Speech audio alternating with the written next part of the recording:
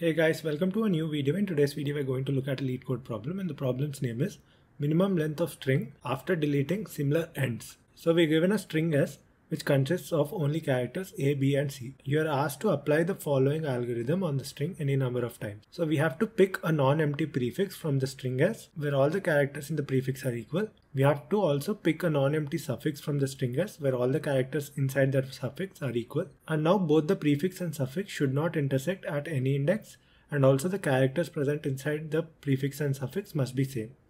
If these conditions satisfy, then we can delete prefix and suffix from the input string s. And we can apply these steps any number of times. So all these five steps constitute one number of time. And our final task is to return the minimum length of string after performing the above operations any number of times. You can also perform them zero number of times. So let's take a look at these examples and see how we can solve this question. So let's take the three examples. The first example, we have to implement the five steps. So prefix is the starting part of the string.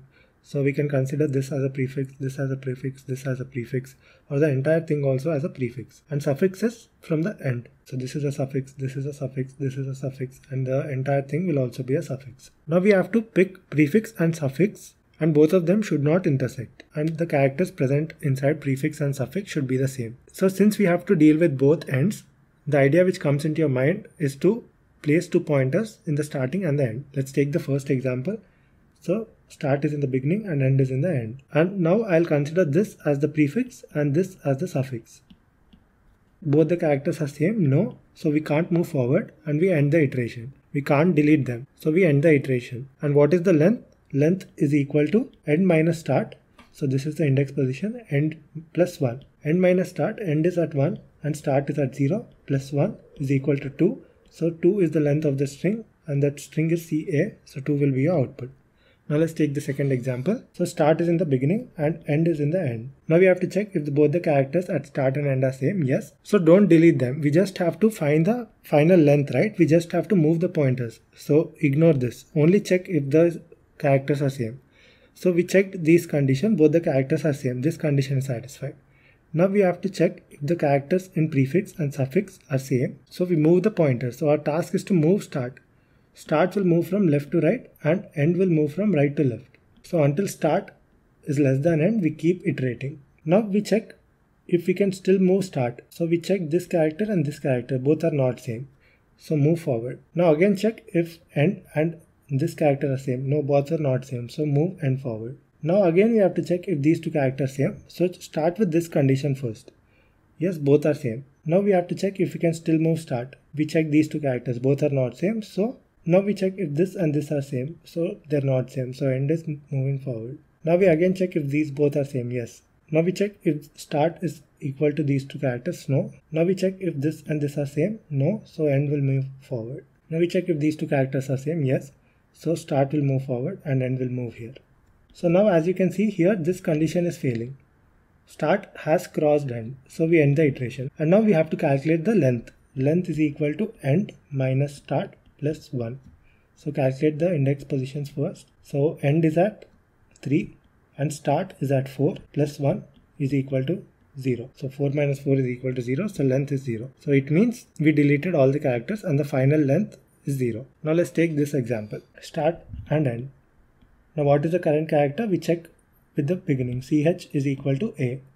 Now check if start and end are same. Yes. Now we have to check the prefix if we can still move we check if this character A is still equal to the character which we are comparing. Yes. So move start forward. Now we have to check if we can still move start forward. Start will move forward. Now we check if this character is equal to ch. No. So we end the iteration. Now we have to check for the suffix. Now check if this character and a are same. Yes. So move and forward. Now we check if this character and ch are same. No. So we end the iteration. Now take the current character where start is pointing. Start is pointing to B. So CH is B. Now check if start and B are same. Yes. So move start forward. Now check again if we can move start. Check if C and B are same. No. So start will stop. Now we check if this character at end and ch are same because now we are checking for the suffix. Yes, both are same. So end will move to the left. Now check if this character and end b ch are same. Yes. So end will move to the left. Now check if this character and ch are same. No. So end will stop. Now this was the first condition to check, right? In every iteration we are checking if first start and end are same. Only then we are checking this condition second and this condition third. So first this condition is only failing because start is pointing to C and end is pointing to A. Both are not same. So first condition is only failing. So end the iteration. Now find the length. Length is equal to end minus start plus 1. So end is equal to 5 and start is equal to 3 plus 1 is equal to 3. So length is equal to 3 and what is the length? The length is equal to CCA. Now let's implement the same steps in a Java program. Coming to the function given to us, this is the function name. This is the input string is given to us and the return type is an integer and that return type is the minimum length of s. So let's start off by creating the two pointers start and end. Start is going to be pointing at the zeroth index position and end is going to be pointing at the end of the array. Now we have to move the start pointer and the end pointer. Start will move from left to right and end will move from right to left. So using a while loop until start and end don't intersect. So until start is always less than end.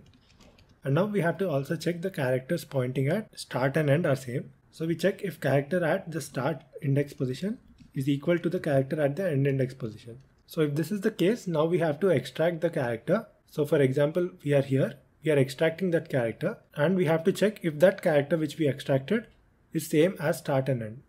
So I extract a character ch which is pointing at the start index position. Now we have to implement this condition. We have to check the prefix. So prefix is being pointed by the start index position. So until the start is less than or equal to end, you keep moving forward. And now we have to compare this character which we are currently pointing at if it is same as the character pointing at start. So if s dot char at of start is equal to the character which we are currently pointing at ch, then we have to keep moving the start pointer. So this is a while loop, right? So start will keep on moving. So here, as you can see, first we are going to compare if these two are same. Yes, these two are same. So start is here and end is here. Yes, both are the same. Now ch is also the element pointing at start, right? Because we are pointing at the start. So we are comparing if start is pointing at the ch, yes, a, so move start forward. Now start is here. Check if start is, is still equal to ch. Yes. So move start forward. Now check if b is equal to the character ch. No, ch was initially a. Now it b. So we break the loop. Now we have to do the same for end. So end will move from right to left, right? So until end is greater than start and the character pointing at end s dot at of end is equal to the current character, only then we keep moving the end pointer to the left. So this is a while loop again. End will keep moving forward until this condition is same. Now outside this while loop, so finally let's take this example. Here you are left with this string. So start is here and end is here. Now you have to find the length of this. So the length of this is start minus end plus 1. So to calculate this, you have to do end minus start plus 1 will give you this length plus 1 because of the index position. So we have to return the min length. So I calculate the length. Uh, let me name it min length. So it will be equal to end minus start plus 1.